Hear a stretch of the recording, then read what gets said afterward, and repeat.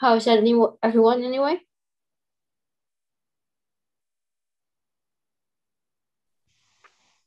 Hello, guys.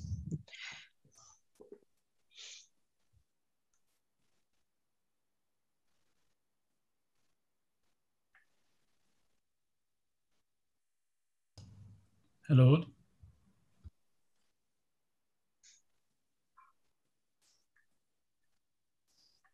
So, how how are you guys finding the like uh, homework and Colab notebooks? Have you been able to finish it? The one zero one and this homework. I think the homework was uh, from the 2019 session. It is using a lot of Snap. Someone was also mentioning that on the Slack also. Um, I did like homework zero with Network X instead of Snap. Um, I I tried using Snap like two years ago, but it was just more convenient using networks because it's like a more common library, and if you're like Stack Stack Overflow is, um, you're more likely to find answers to what you're looking for. Yeah so yeah even for me uh, i have uh, done Colab uh, zero and uh, almost first one is done but then i haven't touched the homework one so i was wondering whether i should approach it using snap or using a network network so i guess i would rather use network x because i know it better than snap definitely. I think kind of um, because like homework zero is more kind of getting familiar with libraries, and I think um, for like projects outside of um, this course. I think kind of using Network X is probably going to be easier. So I just uh, yeah, totally Network X. Yeah. So also, as you mentioned, like uh, there's a lot of information on the Slack. Also, if you don't understand something, uh, even the code is easier to follow. Uh, uh yeah. So someone was mentioning on Slack, as I was saying, like that it is a very uh, like similar to C. I would rather stick to uh, this network X only. Yeah, network X seems a bit more Pythonic. Snap is faster, I believe, right? I mean, it would be right for very large graphs. You mean? Yes. Yes. Right. Yeah, I mean, kind of. I would expect Snap. I mean, Snap. I think they rolled it for it to get like it's because I think there's like the C port and the Python port, so we expect it to be faster than Network X. But I think with like Rapids, uh, having the like cuGraph library, I don't. Uh, well, I think the cuGraph I haven't used it myself. I think the API is quite similar to Network so I suspect that if you need larger graphs, you're probably better off just jumping directly to cuGraph rather than um, going through Snap. But I mean, obviously, I haven't tried it myself, so I can't really say for sure. From what I understand, uh, you know, the API is like hundred percent uh, compatible, but uh, installing Rapids is a pain. So that's that's what I got from somebody else who did this.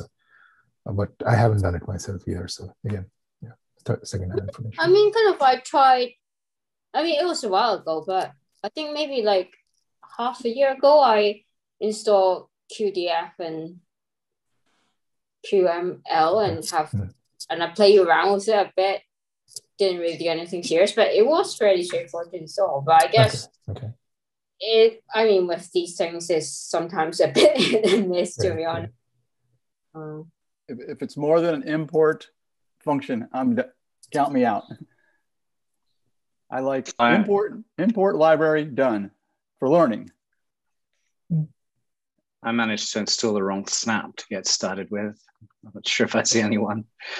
Pip install snap. It's not snap Stanford. So almost as easy then. Yeah. Right.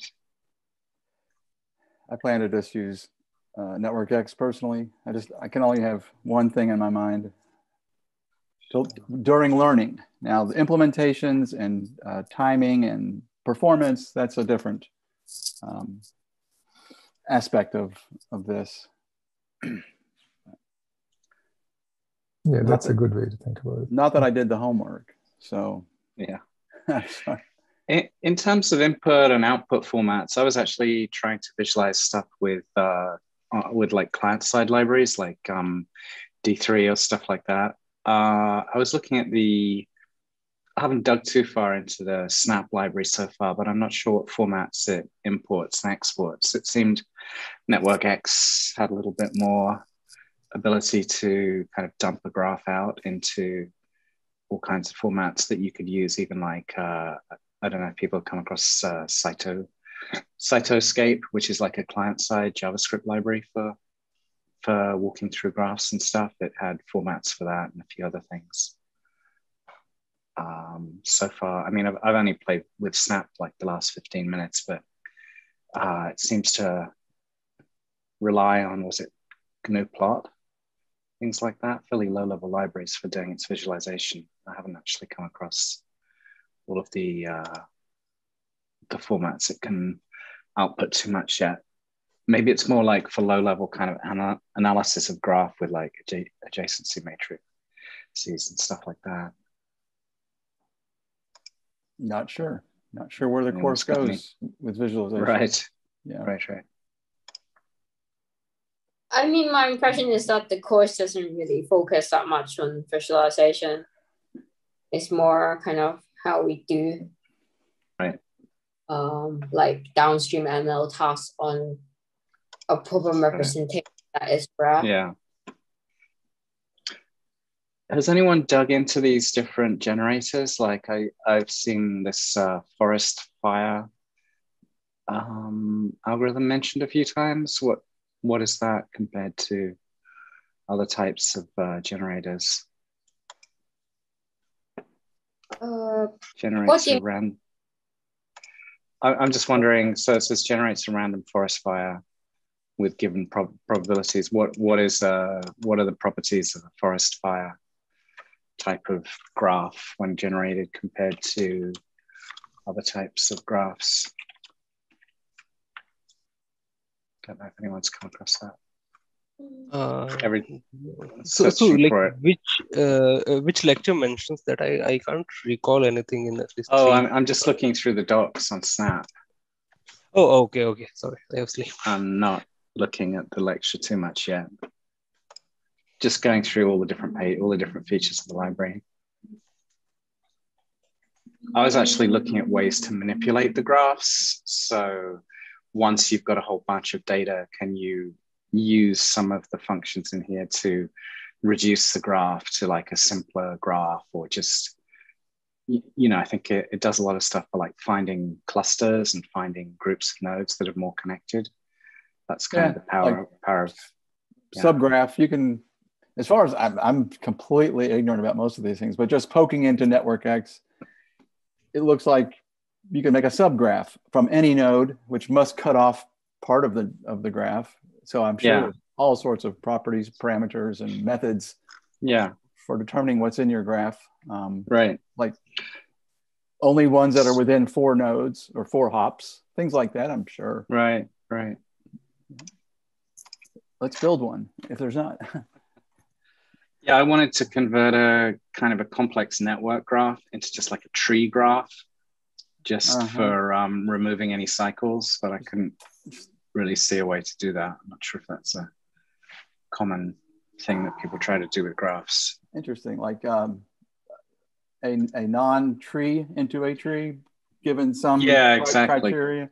Yeah, just get rid of any kind of loopbacks so that it becomes easier to kind of go from the beginning to the end kind of thing. Mm-hmm, mm-hmm. Maybe you could even flatten loopbacks. I don't know. Like if it went A, B, C, D, you then rename D as like E. So even though you're kind of dedupe, deduping it in a way, yeah. Right, right. I think it's like a, a um, What's that but, called? A self a self graph. Just just remove it, erase it, make it go away. Yeah, you could even just delete the loops. Yeah, but then you do lose a bit, bit of information. Oh yeah, you could spread them across all of the other neighbors evenly right. or something. Right. You could use an autoencoder. So What's... if you were to use like a convolutional graph or a graph convolutional network, you can use mm-hmm. some kind of autoencoder to probably shrink it down on the other side. Um, I've never done it, but it's probably possible. Hmm. So, like the input of the final layer of the of the um, the the encoder? How, how, how does that actually work? Does it just throw away information, or it's approximating? Or I would say um, obviously it would depend on what your target is and what kind of data you have available. Yeah. Um, Yep. But you could go through and create some kind of cleaned uh, data set where you've manually gone through and replaced things that you don't want in there. And then when you go to train an autoencoder, it might be able to mimic it. Just throwing an idea out there. I've never actually done that, but Hmm. it seems like a Hmm. possibility. It would learn. It would learn how to redistribute those things or something. That's Yeah, and generate the. It probably it wouldn't be like trimming per se. It'd be more generating a new, simpler model. mhm. under. How would it impose the constraint? sorry. Yeah. So how how would it know the difference between a Mm-hmm. a looping node versus any other node by the time it, it gets past I mean, that all- data through? it, all it's doing is trying to capture the information necessary in the latent space and then regenerate it and if you have like kind of the output where it's not like like you don't have this the input and output be the same during training right you'd have like the Mhm. manual stuff on the outside so then it would go through it would capture the information in the latent variables and then uh, generate a new graph based on uh, the information that's being passed through the latent space Hmm. Like Interesting. dur- during training, it would actually reduce one of the nodes to nothing, or whatever. However, it's represented, it would learn that that's no longer in the output, and it would figure out to not have it in the output. Yeah, it's just an idea. I, I've never actually done it. It's just something that came to mind. Mhm. But wouldn't like the latent space representation be that each node will actually map to something you don't actually throw it away? It's just transform into a more compact space. Yeah, but it's more just like trying to capture the information. So it takes the graphs that it has, puts it down into latent variables, and then it from there it generates a new model, and the new model is based on the modified uh, graph training data. So I mean, it, the the data would still be there, and all the information about the graph would still be there. It's just like it knows to generate something different. Given Yeah. Information that it has. that that new representation may not meet his criteria. That's like I don't know what the output criteria is.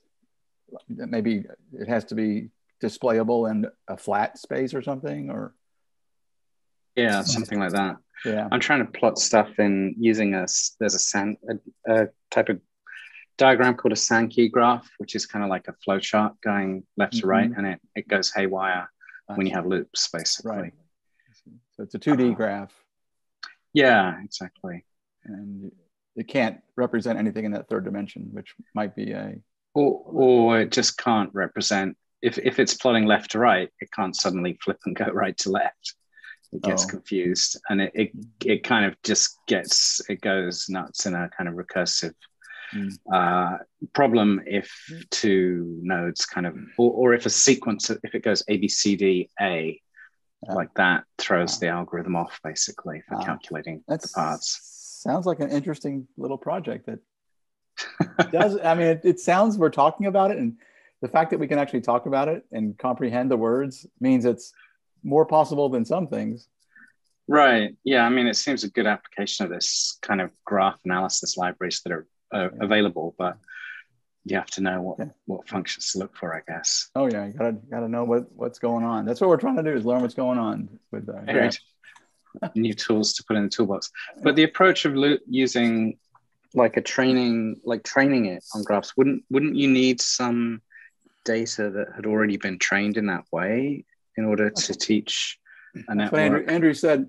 Andrew. Andrew, Andrew said you would you would represent it somehow. You would have to actually do the training. Right. know, the you'd have to create labeled truth. Well, no, the idea of a autoencoder is that the basically your input and output is just the same thing, but you kind of like you shrink your shrink you shrink your input graph down into the latent space, and then you expand latent space out into the the same um, output again. So kind of so Hmm. so basically you uh, the training is basically comparing the output of the decoder versus the input to the to the encoder. So you don't actually need labels. You just it's like you just train it on. That, that's that's a vanilla vanilla autoencoder. Like all autoencoders don't necessarily have to reconstruct on the other end the exact same thing. You can use different things. Um, it's kind of like if you were to do like a GAN or something, right? You it's pretty much just an inverse autoencoder. So you can play around a lot with um, the general structure of an autoencoder to do some pretty crazy things. So the output doesn't have to be exactly the same. You can have custom input and output that are different. How, how do you know what latent space is? I thought latent space was kind of that stuff that we really don't know what they are. We just know that they are. Well, that's the thing, right? So you have on your encoder is encoding whatever graphs that you have into the latent variables, trying to capture the information in that graph. And then if you have labeled output, the decoder will train to take that latent space information, which yeah, I mean it's just a vector that you don't really know what's what's in there, but you can have the decoder know that it needs to take that type of information and produce the type of graph he's looking for. I see. But don't you need an example of the the results that you're looking for to tell it? Yeah, that's what I was saying. You probably have to go through and do some manual stuff, um, some Right. some manual labeling and modification. But Yeah. then there are kind of techniques. Um, I'm not something I'd have to really think about, but you could probably do some kind of few shot um, training on Mhm. the decoder um, that would make it so you don't have to have a ton of labeled data. Yeah. Like you would like those- you, you train the autoencoder first, and then Yeah. you would update some of the weights with the modified data set. Hmm. And can you use that technique? Like, let's say if I manually labeled something with like, I don't know, 50, 50 nodes in it, and I went through and, you know, eyeballed it to take out all of the loops. And then you can apply that same model on something with, you know, tens of thousands of, of nodes. Do you think, does it work like that? So you're Um, you're scaling at a much different scale, or you're, So I you're kind of um, looked, I kind of looked ahead. training. At the, the, Yeah. I kind of looked ahead at in the, this course, and Yeah. it looks like yes, that might be possible to do with the convolu- uh, graph convolutional uh, network uh, features because it is right. able to the way that it constructs is it looks like two nodes deep or something and then kind of backtracks and reconstructs stuff so it can Right. work with things that it hasn't seen before and it can Mhm. uh, work on the pattern so it's possible like i said i haven't done it so it would be Yeah. something like have to probably spend a week So on. you're you're just kind of giving it the behavior you want, but on a very very small subset, and then having it, it scale that same behavior Yeah. up in theory. that's what i would think would work just i'm not sure about the implementation i'm sure there'd be some some Hmm. learning along the way right, right. I, I believe take a distribution of the latent space, so kind of like variation of autoencoders. So perhaps something like that. sorry So maybe you have a sample of 50, um, you have some prior knowledge of how your data will be distributed, and you take like a prior over it, usually a Gaussian. I think that's the same idea. for a variational autoencoder i mean that would give you kind of some stochasticity where you'd have Mhm. Like some random output kind of generated. It would look similar but uh, it probably wouldn't be solid as with a graph it feels like you'd probably want some stability in there some Mhm. more uh i don't know deterministic or something a little bit more clean type but who knows? It could work. With the uh, Snap library, um, can you add weights? I was looking. I mean, the the few simple examples that I saw just seemed to be a collection of nodes and edges. I didn't really see how you could add weight on an edge. Yeah, it's maybe I need to dig into the API a bit more. It's the network Um, just an attribute. Every node has an ad. Every edge has an attribute. Right. That's all it is. I think. Also, in Yeah. the adjacency matrix, you can just have it as opposed to being like zeros and ones. You can change the the value in the Ah. adjacency matrix to increase the weight for a specific edge. Interesting. I thought the adjacency matrix was more for encoding the nodes. So it's it's encoding the connections between nodes. It's, yeah, so rows and co- rows and columns Yeah. are the nodes. So in directed one, you can have a direction, and an undirected one, what I understand is you can have zero one, basically telling you uh, all nodes have uh, like equal weighting. So as mentioned, like uh, in adjacency matrix, you can give weights to individual uh, non-zero values. Yeah. So yeah, it is mapping the edges between the nodes. Got it. Got it. So like XY34 refers to the connection between nodes three and nodes four. Correct. Got it. Okay. So each edge is just corresponds to one um, one square on the on the grid, basically. It's not kind of averaging two, like if you put two values in two different squares, they would absolutely map just onto one edge each. There's no kind of interpolation between sizes or anything like that. So if you is there any way that you can encode the property of the node? Like let's say I'm I'm trying to plot a web page um, thing where each node is a page and each um, edge is uh, traffic going between those two pages. Can you plot the size of a page? Like, sure. you know, something nodes like have, that. Can you encode that in a 2D? Nodes have properties. Matrix? Nodes have properties. Yeah. You can just define whatever the property is. Yeah. yeah so, th- so that would be relevant to adjacency matrix. What I understand the the properties of the nodes. And maybe it would be something like a index of index and the like column index mm-hmm. of that adjacency matrix. Yeah. Uh, but the but the values in the adjacency matrix would refer to the uh, as you were mentioning, traffic going between those pages. So yeah. if there's a if the, if for two nodes there's a traffic is very I mean there's a lot of traffic, then we'll have a much higher value there. Yeah. And yeah. if there are like two nodes, uh, and if there are two pages with not at all not there is no traffic between them, then I would say it will be very close to zero. Something like yeah. that. No, I can understand that, but I can't understand how you could encode the data of both of them in one 2D array unless you, you have a, like a 3D you, array or yeah, you need an extra dimension. Right. Nodes, okay. nodes, and ed- nodes and edges are much different things. They're not. I, yeah. I think you're trying to reduce it into one thing. Yeah. sense. So. Well, I, but if you just had basically an X Y Z kind of cube of of coordinates, the the direction looking back on the Z could be the node properties, mm-hmm. yep. and then and then you only have one kind of data structure that you have to manipulate to do everything with as opposed to having to like have like two tables effectively. Oh you're trying to do the mapping into this thing that might be uh, for the display or something. I see. Yeah, that, that's well yeah graph, but, that, yeah. that's where graph neural networks come in right?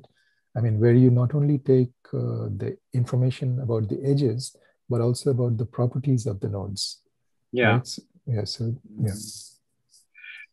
But i mean trying to figure out what's going on in a neural network always seems a bit of a losing battle compared to just like here's a cube of numbers and I can like drill into this um to this dimension and I can find out what's happening to the different nodes just by like slicing through the um that, that property. you know it's the the black box or the the opposite of a black box approach basically. If you want to manipulate for example uh, a certain path through the network and you want to highlight that path or something, I mean, good luck doing that in a neural network.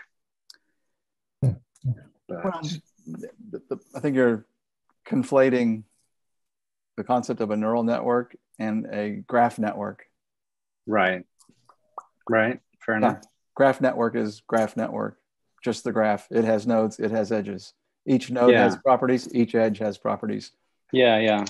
Neural but networks are, are approaches to solving some optimization problems. Right, right. Okay. Yeah.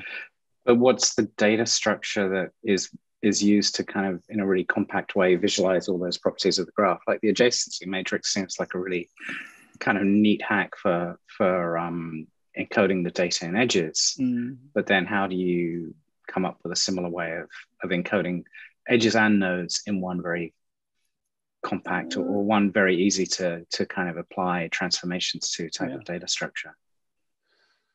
Um, in traditional graph manipulations, you would message pass, right? So you would have okay. um, you know node properties, and yeah. you you would have so you would you know pass messages from one node with mm-hmm. some function of its properties to all its neighbors, right?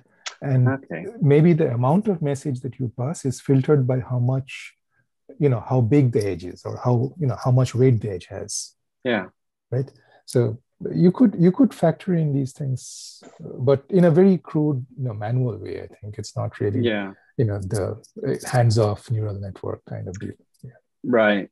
But then you're effectively got a whole bunch of objects that represent the properties of each node, and you're effectively just calling uh, functions on these things that just iterate through and iterate through with messages and stuff. Whereas if you did have one huge matrix, then you could apply a calculation to the whole graph in one one pass, basically, in theory. To to some extent, though, it is you know it's a matrix multiplication, right? So every time you message pass on one edge, right, to your, all your Mhm. neighbors, immediate neighbors, Mhm. It's like one multiplication, one matrix operation. Right. and right. you Yeah. repeat the operation one more time, you go to the next Yeah. neighbors, right? Yeah, So- yeah. Right, right, right. Oh yeah, you'd have in, you'd have you'd have outbound and inbound coming back towards you again. Right. Yeah. Yeah, it's cool. I can't wait to learn about message message what's it message bus kind of Message inform- passing. Message passing. Okay. Is that part of the uh, one of the lessons coming up? Not sure. This I learned this when I was doing uh, what's his name, uh, the the graph, the Hadoop equivalent of graphs, whatever that was. Uh, Well, I think there's some discussion of that when they talk Yeah. about pagerank later in the course. Like okay. Yeah. to calculate Uh-huh. page rank, you just basically start off with a random page and give it a random value, and then just keep walking till you get to the end of the web. I mean, pretty much message passing is one of the core ideas of graph neural nets, as in like how you do the message passing and how you construct um that over the convolution. So they'll definitely go into it in more detail and like I see. I see. You do So, So, have to. like, uh, is this message passing very similar to the thing which you he was mentioning in PageRank, like that Markov tape uh, matrices he had, and he was multiplying it again and again uh, till he gets some stable values for the PageRank importances. It sounds familiar. Yeah. Mhm. Or at least it sounds like it would make sense there, where you have to inform other nodes about neighboring nodes' properties. That um, I'm sure it's coming up because you'd have to. There's no way to make the information be available to other nodes. I think kind of you like last year we were talking about the color refinement. Exactly. It's pretty much uh, more or less along those lines. Yeah, yeah, yeah. I would say. So he starts with some random initial colors and then basically moves to some final one till it stabilizes. I think we had a discussion last time also, like what is the number of iterations uh, in which uh, one should go through before settling on some uh, values of those colors. But yeah, I think I forgot to uh, check like how many number of iterations or what is the stopping criteria there. But at least for uh, the the the page rank uh, algorithm it uh, tells you that uh, once you reach a stable state of a uh, stable once you reach a stable state you can basically uh, think it in terms of like eigenvectors and solve it without even uh, simulating the whole thing uh, completely.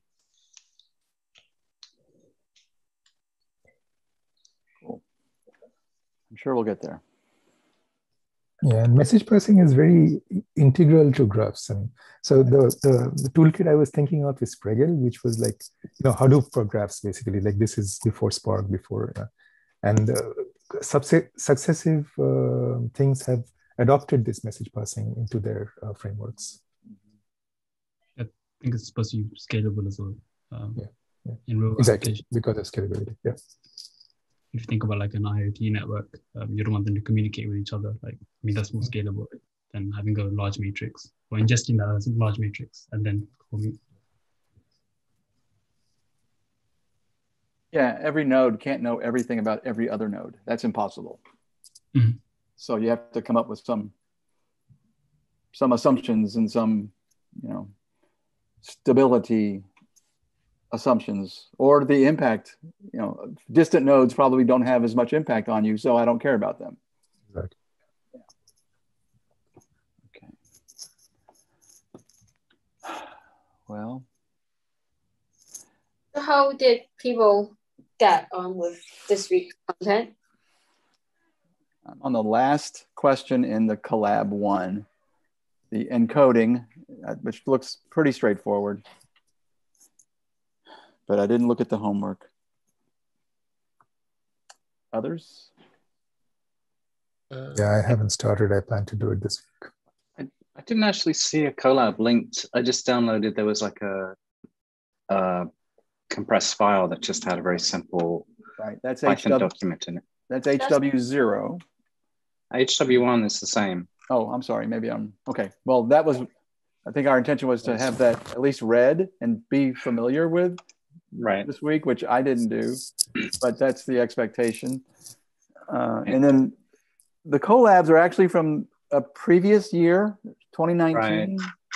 Right. And I think we were just going to use them to kind of get tooled tooled up a little bit, get get into the tooling a little. Uh, so, so kind of, I think, um, I don't know whether they repeated the Colabs or not, but the Colabs you can download directly from this year's course. It's the homeworks that you need to download from 2019. Oh, I'm sorry, I had that backwards. Yeah, the homework one, the file there really seems pretty basic. It's just uh, trying out the different APIs Hmm. for Snap and plotting a couple of things and generating random graphs. I didn't actually see. I think that's homework zero, isn't it? Uh, homework one, I think, unless I got the wrong file. Kind of, I think homework one is a lot detailed than just playing around with APIs. I mean, like because the schedule for this week is that um we have done or uh, read read homework zero, not homework one. Oh, you're right. Yeah, there's a whole PDF with a whole bunch of much more complicated questions. Yep.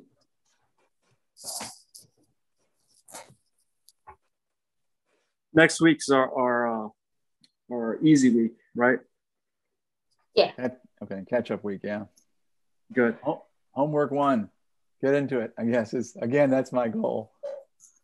This is my house right now. Holy mackerel! what a minute. So You're busy. it's gotten in the way of me getting anything done this week, I'll bet. obviously. But uh, yeah, the catch up week will be really great. I'll need it this coming week. Well, homework one isn't due until October the 10th. So when we get into message passing, it looks like. Was the plan to do two weeks? I saw some chatter in the Slack early on. Were you planning to do two weeks per, per week of uh, discussion, or is it going to go pretty much in parallel with the course? It was two sections, you know, for, for uh, two weeks, or or two sections per week for two weeks, and then one section on that third week, and that was a catch up. Right.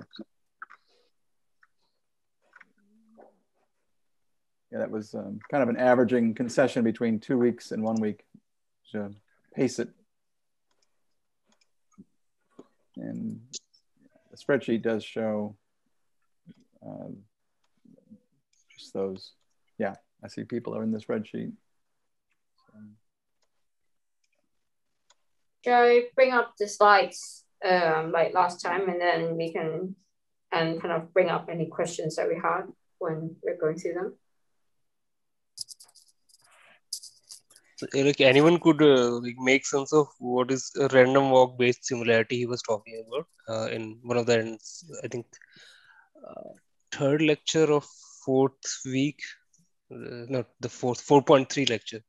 So it was a pretty convoluted formula. I just, uh, I mean, he explained something, but I just basically went over my. Intuitively, it's basically, you know, think of word2vec, how that works, right? So uh, essentially, you're creating sentences by using these random walks, and then you're running word2vec against that. And basically, so, you know, uh, nodes that um, in this new space, if nodes occur close to each other, they are more similar. So, I mean, there, there is obviously the reasoning behind the random walk where it says, you know, if you can reach them, the more times you can reach this particular node from this particular node, the closer they are uh, using these random number, you know, random walks. But essentially, it's word2vec for graphs. Uh, yeah, he's so there. Yes, he's talking about some of the negative sampling, then context window size. So, what is the context window size here? Is is like we are limiting our random walk to some specific length? Is that the context window? I'll No, share no.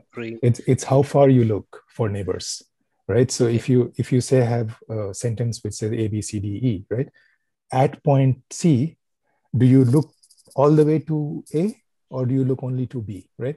If you look all the way to A, then your window size is like two on this side, two on this side. So that's like window size of five, I think, right? And so including yourself. And whereas if you look just next, you know, next door neighbors, right? At C, you are only looking at D and B, then your window size is three. So, so is it basic? Is it uh, controlling how far we are going from the origin node, like one step, two step, or three step, uh, similar to the words where we look at three, uh, like uh, the neighbors which are like three units apart, or maybe like third or fourth word. That is the context size there, if I remember. Yes. Ba- basically, you're defining how similar you want your embedding to be. Right? What is your definition of similarity? Okay, okay, okay. So, and and uh, what does it mean by volume of graph? I couldn't find uh, like uh, I basically didn't search much, but yeah, I couldn't, couldn't understand like what does this mean exactly? is anyone uh, like what does this mean intuitively? We are summing it up over like twice over I and over J. Isn't that just coming over the adjacency matrix? Yes. Wh- wh- wh- Can you repeat that? Um, like summing over the adjacency matrix? Yeah, yeah. So that will be the total uh, sum of the all the edges that they are Total number of edges. Yeah. Yeah. total number of uh, so if we are talking about the like putting weights in agency uh, adjacency uh, sorry uh, adjacency matrix then um, it won't sum it up so are we talking about one zero kind of agency uh, adjacency matrix here What does the J represent? The I is what an intermediate node or something, and a J is uh, Sum of- what i understand is i are rows and columns Yeah, exactly. Yeah. oh, okay. uh, s- so that will be basically number of edges uh, mm, without taking the weights into the account of that specific mat- mat- matrix I believe Node2Vec allows for weighted edges. Yeah, if that's I why they remember it's calling about volume, or else we could have just written it as a, a number of nodes, total number Yes, of nodes, exactly. sorry, total number of think it- yeah. degrees. So Right. similar to that. So, so th- that's what basic is. Uh, like I was wondering what exactly specific why we are taking it as volume and and like intuitively what is does does this mean this whole thing? Hmm. So So it's kind of like the sum of edges, but with some kind of weight calculation as well.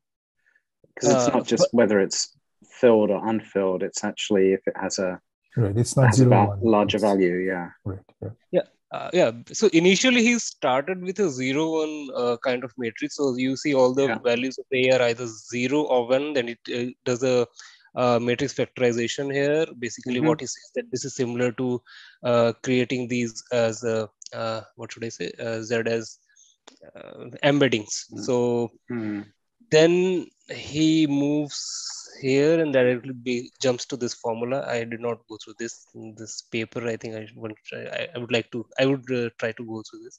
But then I thought that maybe like if someone has a better idea on this, like why uh, we're taking it as volume, and then again like so if we as uh, Sujit was saying that we are, it's very similar to what uh, the word2vec does. Uh. Maybe I'll just go through the paper and see uh, uh, what what does it mean exactly, the individual things.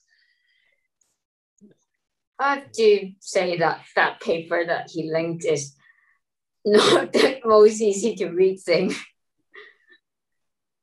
Okay. Usually, word2vec when you're doing embeddings and stuff, you also have like a reference set. So, for example, you know, this word has these vectors, this word has these vectors. Are they That's Were what your random they- walks are. right? Okay. So your random walk is like a set of um, directional vectors that says how these nodes are connected. Yes. So that is specific to your graph, right? There's no Mhm. kind of objective truth like Wikipedia word2vec word vectors is common against anything written in English. Um, whereas Yes. if you're doing graphs, Mhm. there isn't really that kind of concept of a reference graph exactly. language. Right. Okay. Yeah, I guess this uh, paper is very incomprehensible. It seems too complex. I would rather stick to this. uh, Maybe, I yeah, Mm. some modified uh, uh, factorization or adjacency ma- matrix expression.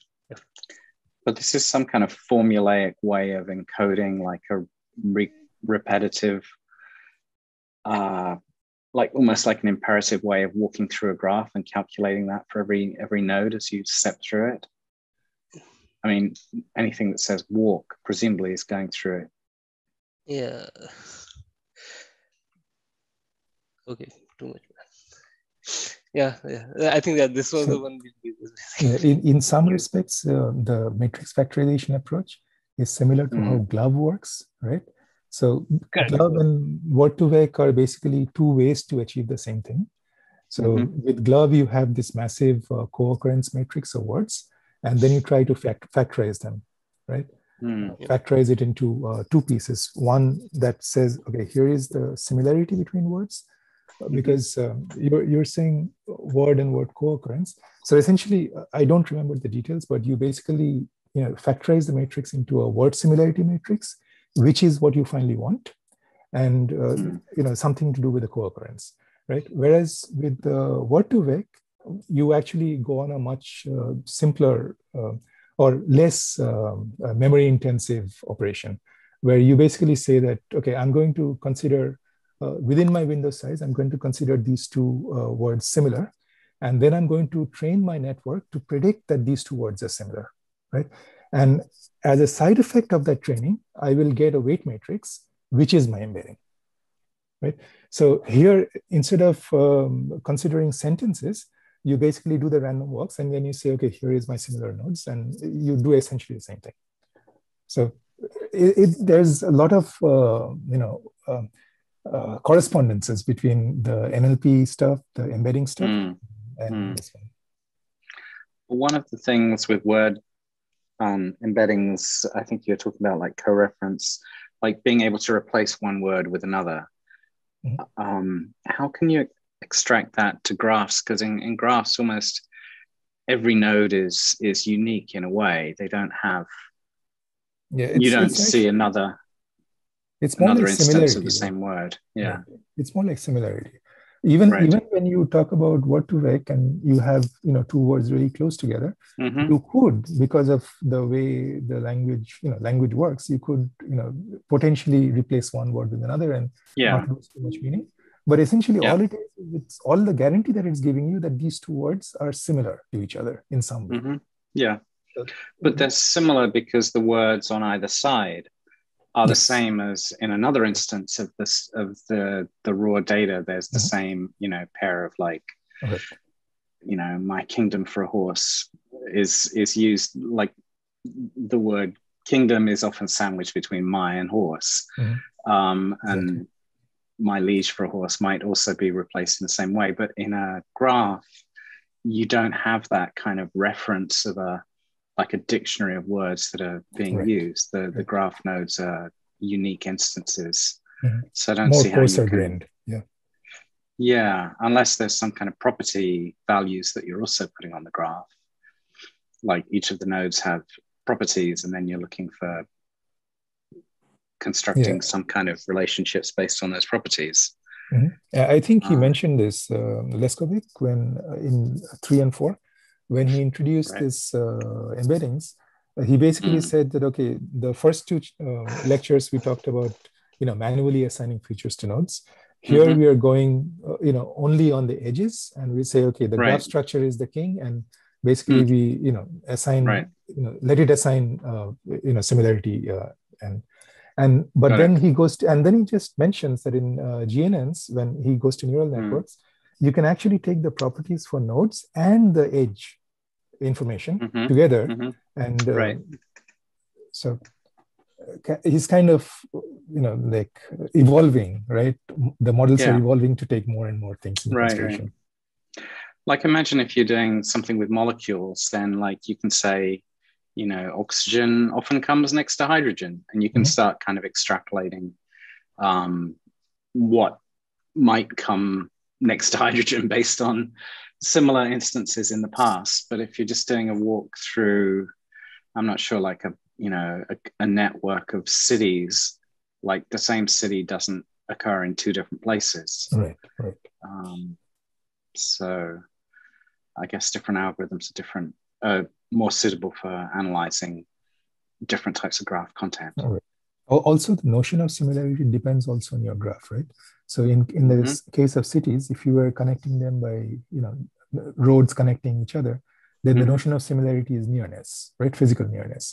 Whereas if you were saying that, you know, what kind of cuisine, you know, do they have, right? And you connect Yeah. cities with uh, the same kind of cuisine, then the notion of similarity is, you know, cuisine Mm-hmm. Right. nearness, right? Right, So- right, right. So like a whole in space between geographical locations that both like sushi. Right, like. Exactly. Yeah.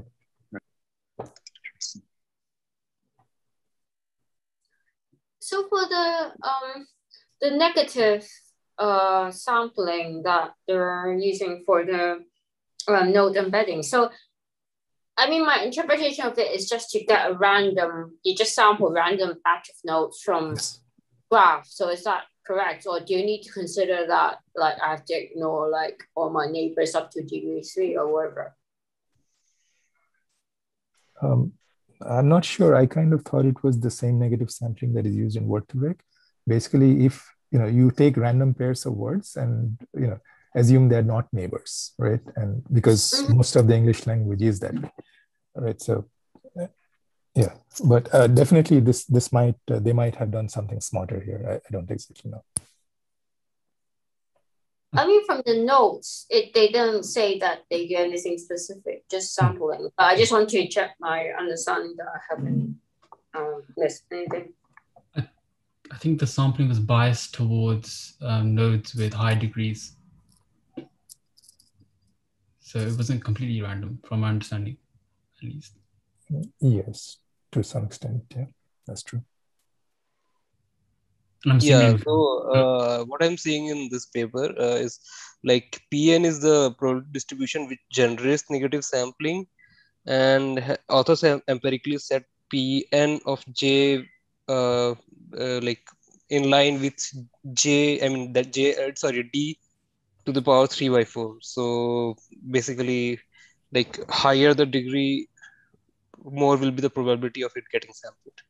Yes, yes. Mhm. but that that is true in you know uh, for instance the right it's occurring everywhere so Mhm. uh, this will get sampled more i mean that's that's an artifact of the structure it's yeah, because they're more significant and important. I guess that's why. But then if your sample is too large, it mentioned about you know biasing too much towards those. So they mentioned I think uh, was it five to twenty is is sort of the accepted amount um, for k for the number of samples you take from a graph. So what, what I think is like uh, that sample window size will be more dictated by your uh, ability to uh, calculate. I mean the calculation complexity rather than uh, bias, uh, because uh, Uh, so if if you put everything in like uh, if you have a very big negative sample. Oh no, sorry, sorry. Yeah, it was talking about context window size. So yeah, uh, no, no I think if I don't have anything to add. Number of negative samples. Let me check. So yeah, the, uh, so I think there's a bit of trade-off. So in, in the slides, I mentioned two considerations. So a, a higher k gives more robust estimates because your your, your sample size is larger. Uh, although then higher k's also correspond to higher bias on those negative events. So those high degree nodes. Yep. So in, in practice, you mentioned that k is five to twenty, even for really large graphs, which I think is quite interesting. Uh, Um, K is the number of negative samples. Are you talking about? Yes, yes. Okay.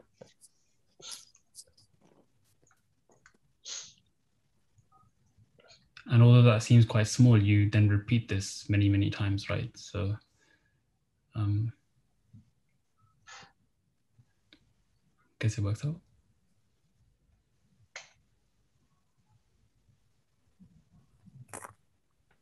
There was one one piece of intuition. So you know, I've so when doing machine learning models, typically you start with classification, right? So it's kind of beaten into your head that your negative uh, class size and your positive class size must be similar, right?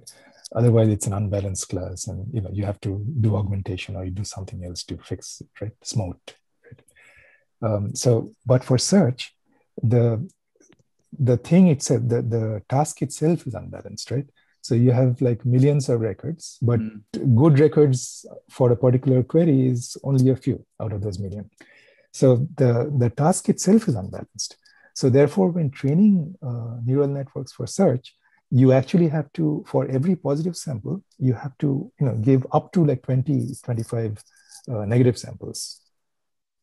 Because you want to kind of tell the classifier, train the classifier that this is what your sample space looks like, right? So I think uh, something similar is going on here as well because of the inherent sparsity of uh, graphs in general, right? You know, one node is connected to very few other nodes, right? So you want to have a large number of negative samples to basically push the graph towards the sparsity um, uh, idea. That's, what is a negative sample? You said a negative class is everything but the class that you want? say? Yeah, so in a in a binary classification step, it would be you know what you don't want, right? What you don't so, want. Okay. Yeah, but with your graph, what you are getting is what you have, right? What you should get, the positive samples. You want the negative samples as well because otherwise you cannot create a classifier. Okay, so a right, negative a negative sample is a node, a, a, an edge that doesn't exist. That doesn't exist potentially, yes. Okay. I so just some sort of it. The lesson was not that clear. at least parts one and two. I mean, I haven't even dug into three or four yet. Okay. Yeah, in, in the context of word2vec, though, I mean, because uh, language is so sparse, all they do is ba- basically they take the root word and any other word in the dictionary, right? In the vocabulary. So, and it usually works out that this, you know, is not, um, you know, uh, close to each other. Okay. Yeah, so yeah, I think negative sample was the the high degrees, right? So the nodes with yeah, it was uh, proportional to mm-hmm. uh, degree to the power three by four. So yeah, very uh, some heuristic they have used.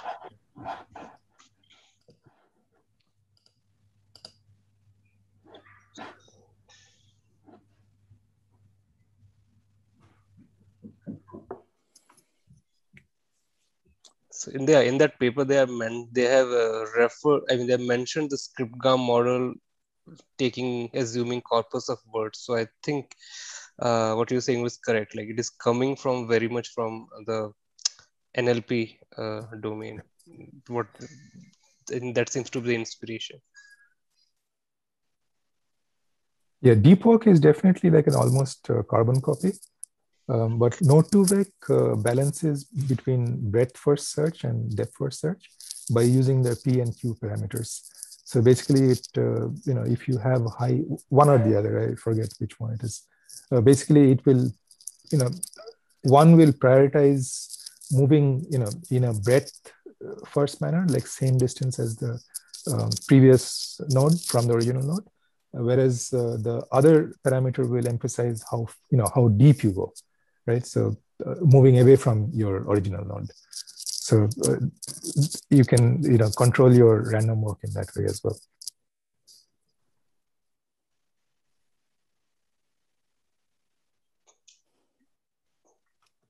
So how would you sort of tune those parameters P and Q? Does it depend on your graph? So it depends on your graph, yes.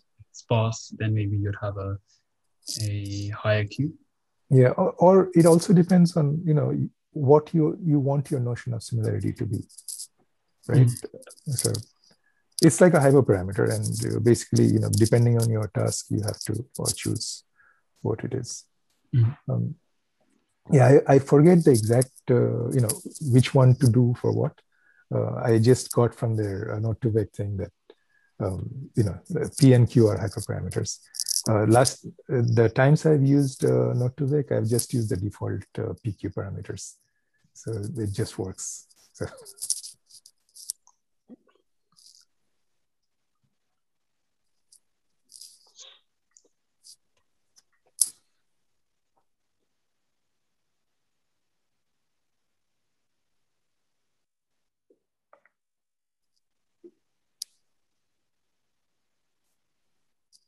I was wondering how this could link up with reinforcement learning, if anyone's got any ideas. Because um, there's this idea of transition probabilities. I guess the only thing here is that you don't have that controlled feedback. Mm. Um,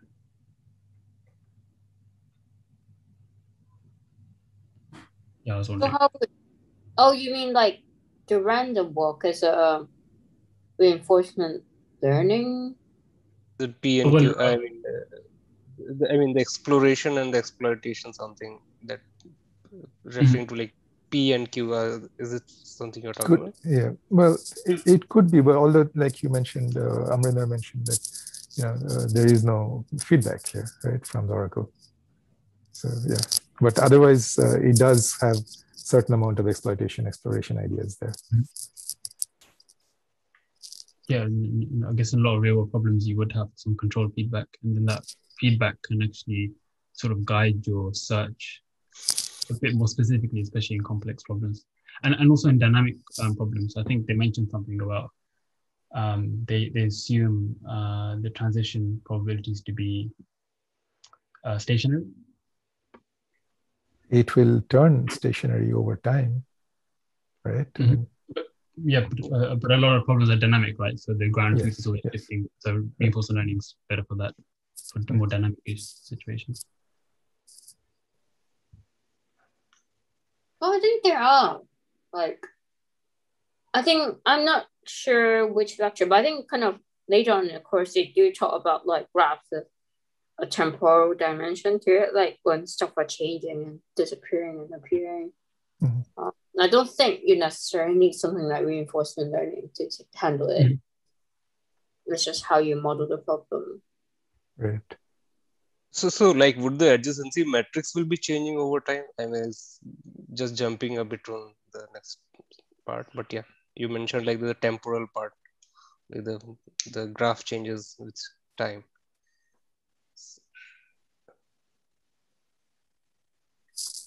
Yep. Uh, but, I think- but, but I think the transition probabilities on the existing nodes wouldn't really um, exactly change. I'm sorry, on the existing edges. I think that's what makes reinforcement learning really difficult because uh, at t plus one, all your transition probabilities may have changed. So you have to sort of explore and, and adapt to that. So that's where the reinforcement part comes in. Right. Okay.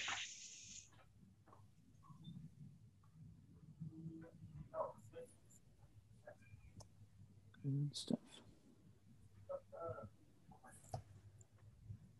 But yeah, good to make connections, I guess, like with word2vec, uh, reinforcement learning.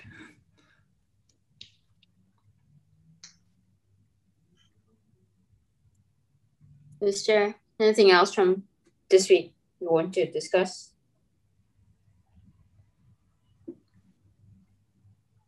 I don't think we really discussed much of the uh, homework content that's there.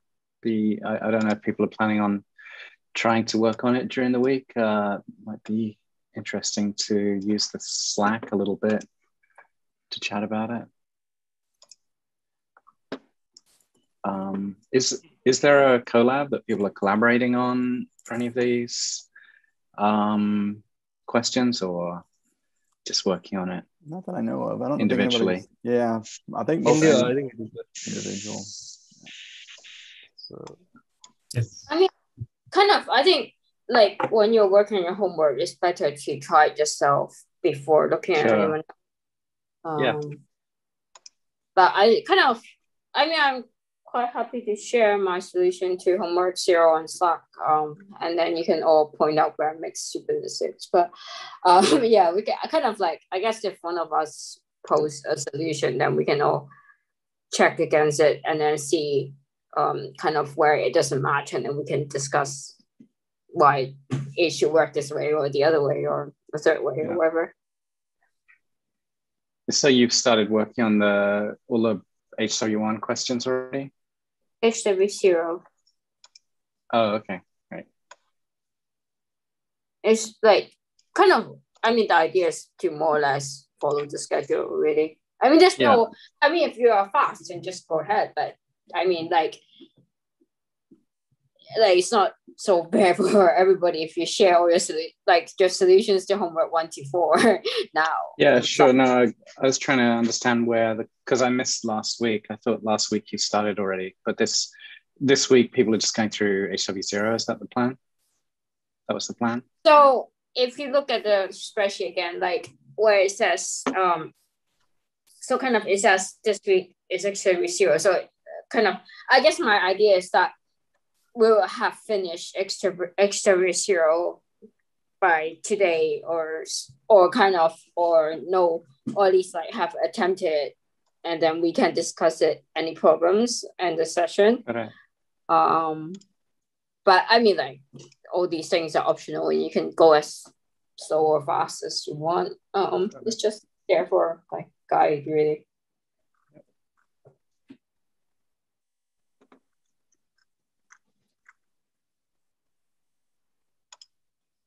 well if there's nothing else i guess we can end the meeting um hope everyone have a good week ahead Yeah, we'll try to do more in Slack. I, I like the concept of doing things together, but I, I'm not quite sure of the, the tooling and the mechanisms for that. So, You can definitely start a conversation. Um, like get a conversation going in the Slack channel. Yeah, yeah. Just keep posing questions. Yeah. cool. See you next week. okay. Yeah, right. Thank you. Good luck there in the house. Thank you. Yeah. In, in two weeks, I'll give you a tour. It's going to be beautiful. Nice. Wow. That's a lot of work in two weeks, my friend. Well, I'm not. Uh, I'm more like the foreman. You know. Still, My- that's still a lot of work. Good luck. It is. It is a lot of work. All right. Take care. Yep. Right. Have a Cheers. good one. thank you Okay. bye Bye.